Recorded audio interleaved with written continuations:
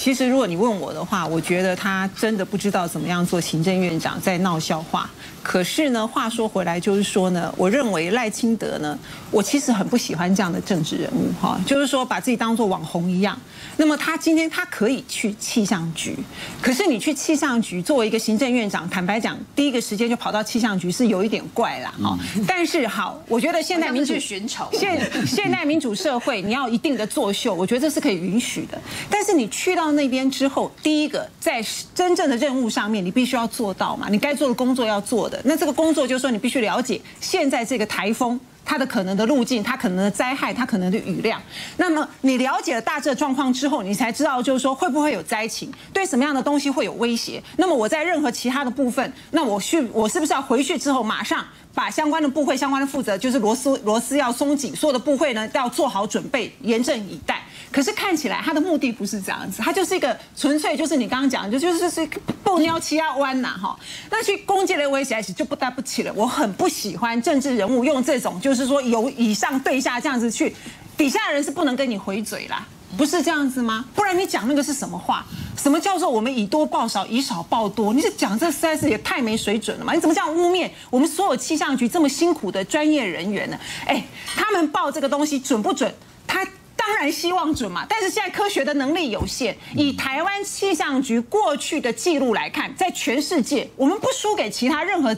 的国家，我们也没有那种一天到晚不准乱报的这种坏的记录。所以，第一个，他对于这些辛苦专业的公务员用这种非常不尊重的态度，我其实很不喜欢这种政治人物。你官大学问大，因为你行政院长，我只好坐在下面听啊，我不能够回嘴啊。他为什么不会体恤他们的辛劳？他为什么不会肯定他们的专业呢？我相信他们会更有士气。这些气象局人员很辛苦哎，当台风的时候，他们要二十四小时守候在那里，随时告诉我们最新的状态。我们可以台风假躲在家里面，我们可以在安安心心的在家里头。他们不，他们不行哎。然后只要稍微有一点点不准，还要来自于各方的压力，这心理压力其实是很大的。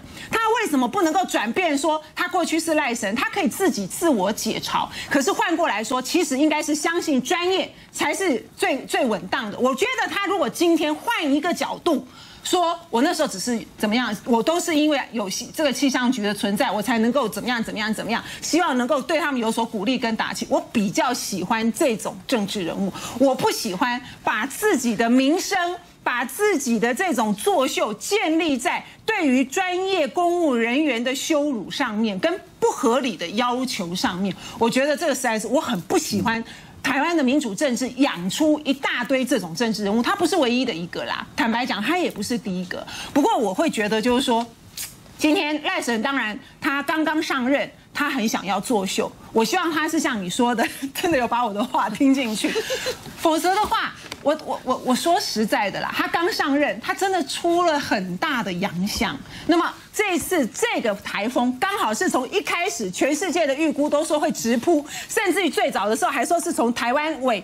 要上来，现在变成可能会变西北台了，不但是台擦边台湾头，搞不好连都不登陆了，都还不晓得明天台风就要来了，现在也没有人知道，都还在等这个台风最后的路径嘛。所以我认为现在这个赖神哦，他应该好好的去体会一下，身为阁魁的严肃任务啦，而不是只是老是像网红一样，只是想要制造话题而已。